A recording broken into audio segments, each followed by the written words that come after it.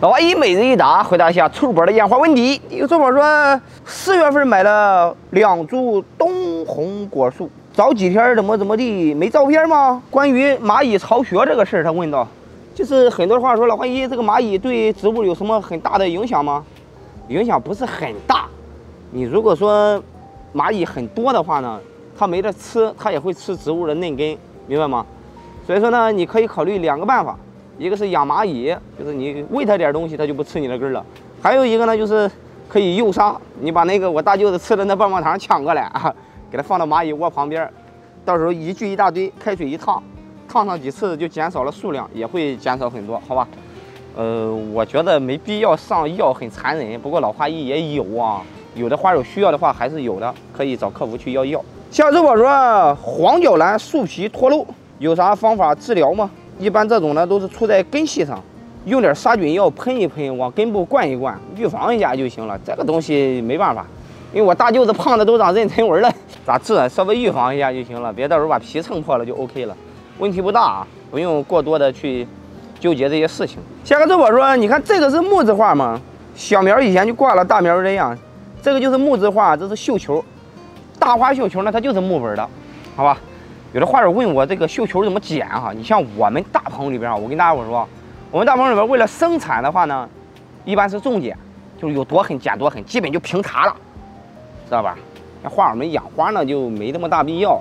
我在云南看我们那个小院房东人养的那个没管过，那一个杆子长得跟我大拇指一样粗，都长老高了。那绣球一开也是一大片。其实你看个人，明白吗？你地栽的话。你只要水肥跟上就可以不用修剪，开完花你把花头掐了。如果是盆栽的臭宝呢，就看个人爱好了，想重剪重剪，想轻剪就轻剪。不过你轻剪的话要换盆啊，加土啊，你别忘了这个事儿就行了。每隔一到两年换个大一号的盆儿。下周宝新叶发黄发白，黄化病，新叶越来越小，就缺营养，黄化病用反肥水就可以解决。用反肥水的时候，适当的来一丢丢的杀菌药。一般只要出现这种啊，它也会多多少少有一些个病害，明白吗？下周宝办公室的小发财叶子卷边了，咋回事？该剪。发财树每年五月份五一左右的就剪它一下，就跟理发一样嘛，是吧？正月里不理发，这一个道理。嗯，懂这事就行。所以说你很长了就控制不住了，它根又不长，你发现了吗？啃老族啊，上面多了它就受不了了呗。剪一剪，来一点点肥料，别用太多了。找不着用啥肥也可以找我们要。哎，老怀就卖这玩意儿。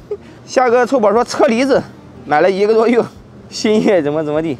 听过一句话吗？樱桃好吃，树难种。这个怎么回事呢？把表面的土挖出来一部分，露出来表面的根系。现在这个时节呢，我不建议你留果了。今年真的不建议留果，为啥呢？因为已经出现了焦边、营养不良的一个状态了。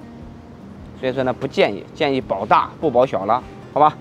用点杀菌药，再来点反肥水。供上营养就会好很多，表面的土挖出来一部分哦，别的没什么，浇水注意一下，摸一摸盆土，干了记得浇，露出来表面根系呢是让你更快的去判断，好吧？花盆稍微垫高一点，别老是用水积在托盘里边，时间长了容易烂根。我是老花姨，养花最专业，有关养花问题呢就问就完了，拜了臭宝。嗨，嘿嘿嘿嘿。